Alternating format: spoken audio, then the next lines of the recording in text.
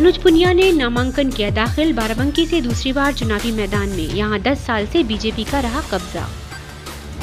Barabanki Lok Sabha seat से India गठबंधन के उम्मीदवार तनुज पुनिया ने बुधवार को नामांकन दाखिल कर दिया। इस दौरान नवाबगंज विधानसभा से वर्तमान विधायक सुरेश यादव व पूर्व सांसद पी एल पुनिया मौजूद रहे। बाराबंकी में पाँचवें चरण में 20 मई को मतदान होगा। 2019 लोकसभा चुनाव हारने के बाद पार्टी ने एक बार फिर से तनुज पुनिया को प्रत्याशी बनाया है। बाराबंकी लोकसभा सीट बीते 10 सालों से बीजेपी के कब्जे में है। नामांकन दाखिल करने के बाद तनुज पुनिया ने बीजेपी पर जोरदार हमला किया। उन्होंने कहा, भारतीय जनता पार्टी डराने धमकाने की राजनीति कर रही है। नामांकन करने बुलडोजर लेकर आती है। आम जनता को डरा रही है और हम संविधान को बचाने की लड़ाई लड़ रहे हैं। संविधान राज से चलेगा, बुलडोजर से नहीं चलेगा। देखिए, आज नामांकन हुआ है। इंडिया गठबंधन का यहाँ पे आज मैंने इंडिया गठबंधन की तरफ़ से आज नामांकन किया है। और ये बहुत महत्वपूर्ण इसलिए है क्योंकि आप देख रहे हैं कि किस प्रकार से बार बार सरकार ने संविधान पे हमारे हमला किया है, हमारे लोकतंत्र पे हमला किया है और ये लगातार तनुज पुनिया दूसरी बार चुनावी मैदान में है। नामांकन दाखिल करने के बाद तनुज पुनिया ने मीडिया से बातचीत में कहा कि भाजपा संविधान विरोधी है। हमारी लड़ाई संविधान को बचाने की है। इतना ही नहीं, तनुज पुनिया ने कहा कि पिछले चुनाव में भारतीय जनता पार्टी के झूठ के जाल में लोग फंस गए थे।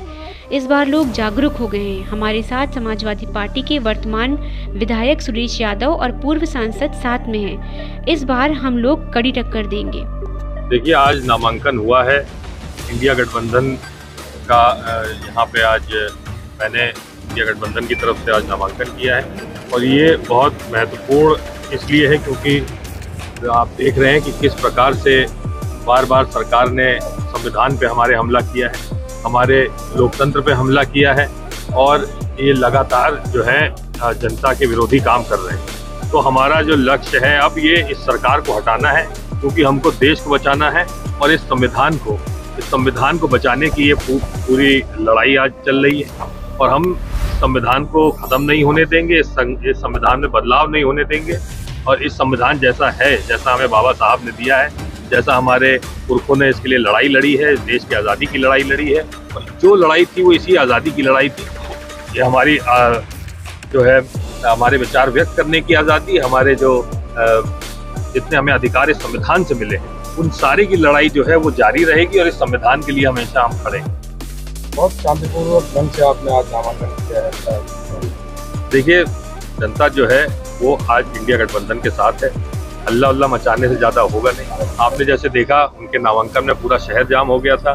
कई जगह से लोगों ने कहा कि जो है कि अस्पताल जो है अस्पताल के सामने वाली रोड जाम हो गई थी। तो कई लोगों की कंप्लेन आई थी कि जो है मरीज़ अस्पताल नहीं पहुँच पा रहे हैं। ऊपर से जो है उन्होंने अपना गुंडा राज भी दिखा दिया, यहाँ बुलडोजर बुला करके उसकी उसे फूल माला चढ़ाई है पूजा वूजा करी है।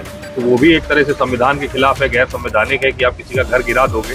तो सीधे सीधे जनता को धमकी दी जा रही है कि हमारा साथ दो, नहीं तो तुम्हारे घर पे बुलडोजर चलेगा। तो ये ये भी हम मैसेज देना चाह रहे थे कि हम जो है, जो जितना हमारा कार्य होगा, वो सब नियम कानून के अनुसार होगा, संविधान के अनुसार।